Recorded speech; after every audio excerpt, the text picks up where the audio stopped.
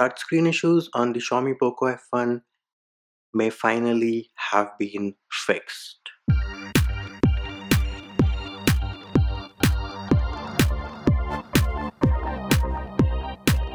If you haven't already subscribed, make sure you subscribe to the channel and click on the bell icon to get notified of new videos. Hey peeps, what's up?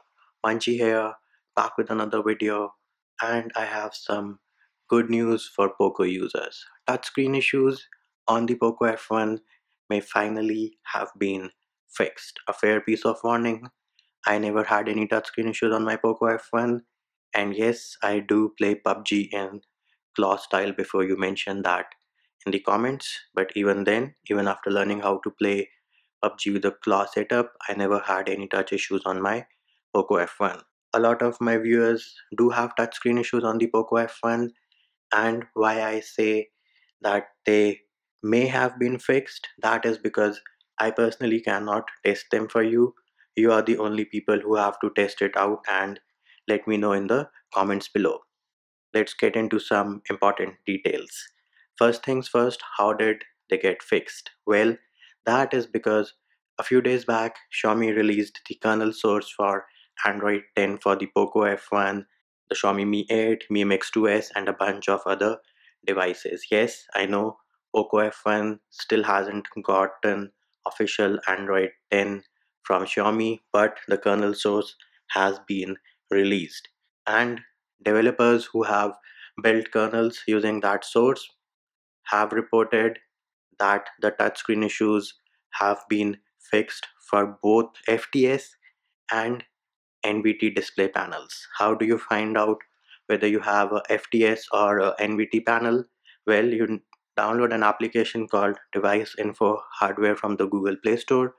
You can find the link for that in the description of the video and also in the pinned comment. And once you open the application, you will see that the touchscreen is mentioned as NVT or FTS. In my case, it is mentioned as NVT-TS, which means I have the NVT touchscreen on my Poco F1.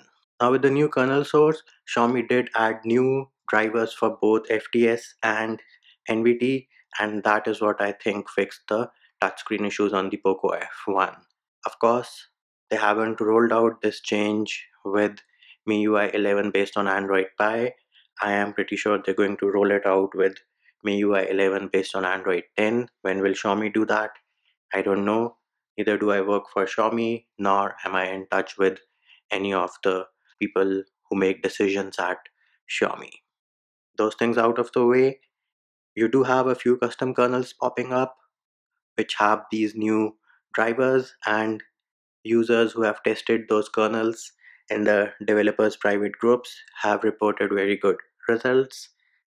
I have linked one such kernel in the pinned comment and as and when more kernels come out the pinned comment will be updated. So you need to make sure that you read the pinned comment.